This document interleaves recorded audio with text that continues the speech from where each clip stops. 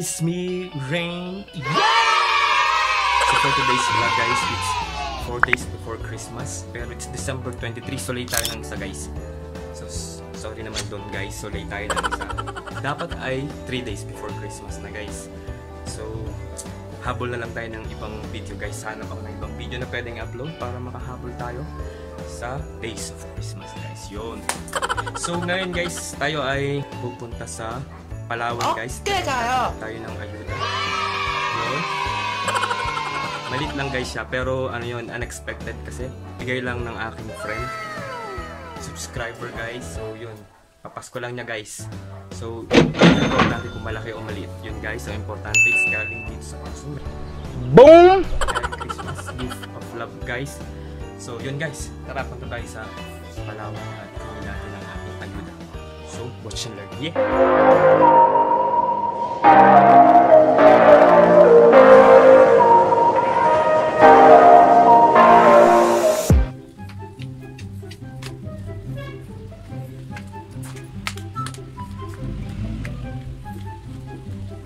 A few moments later.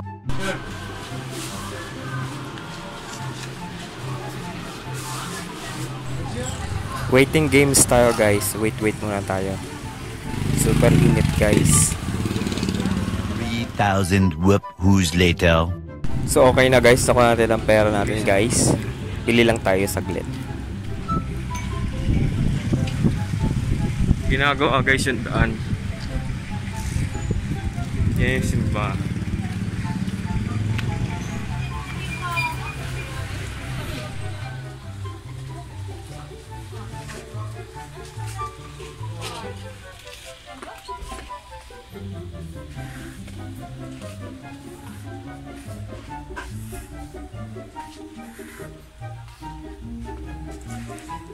Walang chichiri ito guys. Oh my god.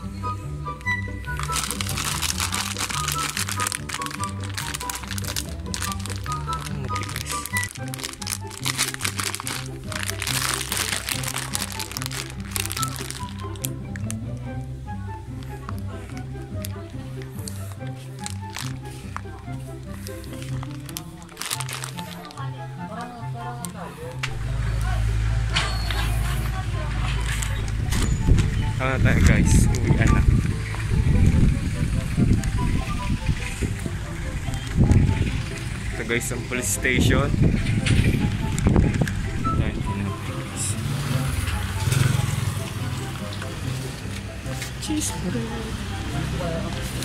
Magkano yung ano nyo? Magkano ba yung gan- ganito nyo? Tatlo isang tubo. Tatlo isang po. Pares yun. Pares tatlo isang tubo. 5 pesos.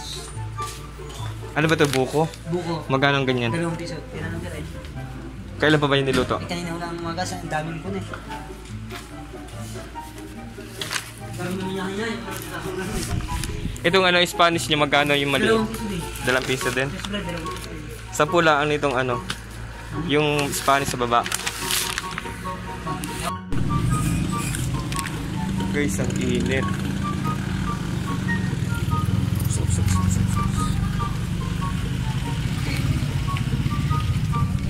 We're home guys. Kaya tayo guys. Mainit, sobrang init. Busap-busap. Haul natin guys. Ngayon na. As ngayon na.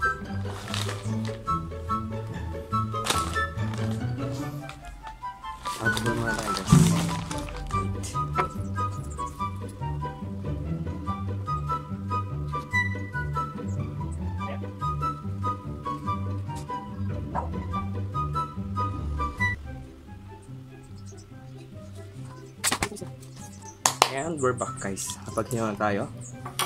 So, call tayo ng ating binili. Nakatanggap tayo guys ng ayuda from a friend. So, pinuha natin ngayon sa Palawan. Tapos, bumili tayo ng something. So, eto na. Lotion na ganito guys. Local lang to guys. Mumurahin guys. Nilalagay ko to sa ano, dito. Sa, sakong. Pang sakong guys. Saka dito. Kasi super dry. Eh, ano to guys. Super malagkit. Super moisturizer siya guys. At mabango din naman siya guys. Mura lang to guys. Tapos, chichirya sugo. Ang ano guys, tika-tika lang yun. At favorite karaoke and candy. Banana candy. And tinapay. Spanish bread guys. Dalawang piso. So, wala nang tigpi piso guys sa panahon ngayon. So yun lang guys. Ang ating pinamili. Yeah. so yun guys nga. So matagal-tagal tayo hindi pumupunta sa palengke. Or matagal akong hindi nakakapunta ng palengke or ako yung bumibili mismo. Kasi siyempre ang inay ko yung namamalengke. So after so many years ngayon ko lang ulit atitikman ang karaoke so imukbang natin guys. Taste test. Hindi ko alam kung magkano guys to. Basta yung lahat ng pinamili ko ay mura lang 79 pesos 79 pesos so sa RMB um 11 tama ba 11 7 times 77 so siguro mga 11.2 3 etc. Yun guys. So, lahat ng pinamili ko yun ay 11 RMB lang. So, ito na guys ang karaoke. New packaging guys. Medyo parang naging cheap na yung itsura before compared sa dati niyang itsura guys. And guess what guys? There's more. Yan lang yung laman niya guys. So, pwede mo na siyang bilangin guys. So, buksan na natin guys.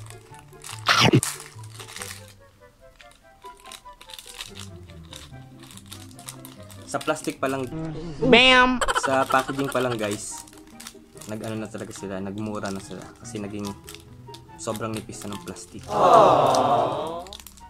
So at yung kanyang laman guys. Ayan. Tingnan po. Masyado na siyang nabusa. Or masyado overcooked ba? So taste test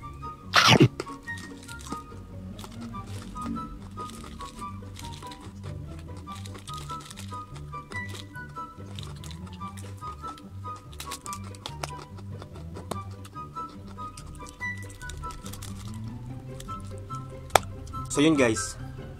Hindi ko alam kung matagal ito or ah o sadyang gano'n na kasi, kasi medyo naging makunat siyang konti. Mukhang bago naman, hindi naman siya expired. Paano masabi? So medyo kumunat siya ng konti at sa lasa medyo similar pa naman sila sa lasa. Yun. So parang hindi ko na siya mamimiss. Parang hindi ko na magiging favorite siya ngayon. Baraba, bum. So next, sugo. Marami siyang ano guys, marami siyang flavor.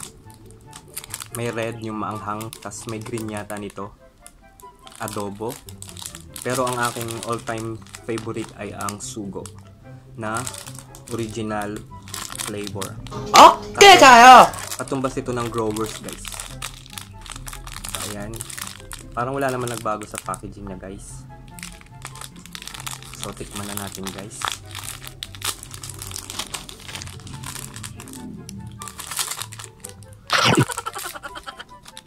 Ayun naman guys, siguro mga 20 pieces. 80 lang guys. Para sure. Alis na kami guys ha. 1, Ginagawa 2, 3, 4, 5, 6, 7, 8, 9, 10, 11, 12, 13, 14, 15, 16, 17, yeah. 17 na ganito guys, yung buong mani. Hindi siya yung ganito ha. Hindi siya yung half. So, binubuo ko siya. So, 17 siya guys. So, tikman na natin.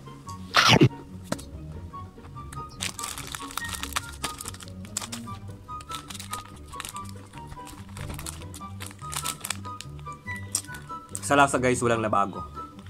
Same pa rin siya ng lasa. Same ng packaging. Siguro medyo kumonte lang. Kumonte yung laman. So, open natin to guys. Tapos, bilangin natin, i-compare natin doon sa una. Bilangin natin to guys. Yan naman guys. 1, 2, 3, 4, 5, 6, 7, 8, 9, 10, 11, 12, 13, 14, 15. So siguro talagang 15 lang yon lumabas lang tayo ng dalawa or talagang 17 yon nagkulang lang ng dalawa. So, bumili din kayo guys para tas bilangin nyo guys tas comment down below kung ilan yung bilang nyo guys. May ganun guys. So, tikman na ulit natin. 1, 2, 3.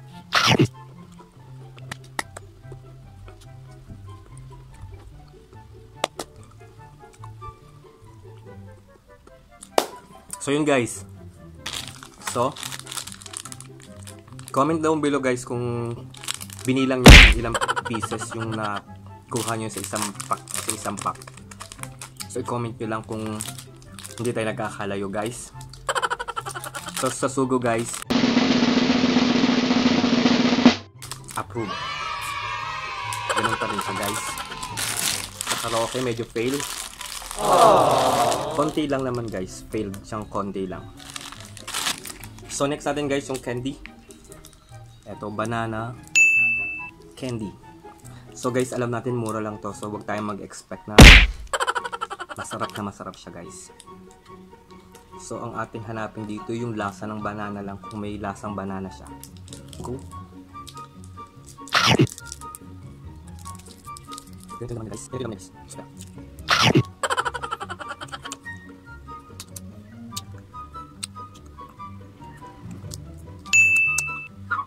Ginagawa mo. So yun guys. Nalalasahan ko yung banana essence. Pero yung tunay na banana wala. Siyempre guys, mura lang to guys. So, andudo naman yung banana essence. May tamis. May ano lasang gatas na keso, ganon. So, pang ano lang to guys, pang kumain ka tapos medyo parang hindi ka komportable sa lasa. So, pang ano lang guys, pang himagas ba. Sa halagang to guys, ng approve.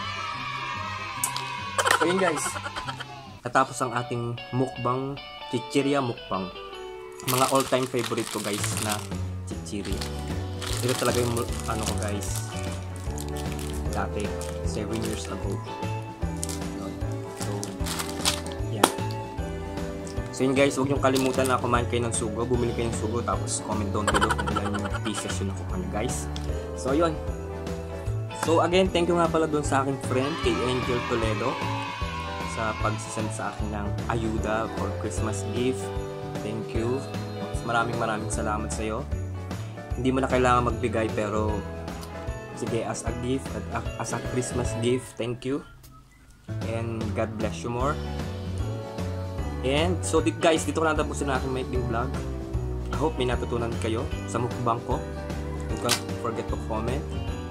And kung nagustuhan yung video na to, please do like, subscribe, uh, share, and comment down below and push that notification bell para updated ka sa mga susunod ko pang videos.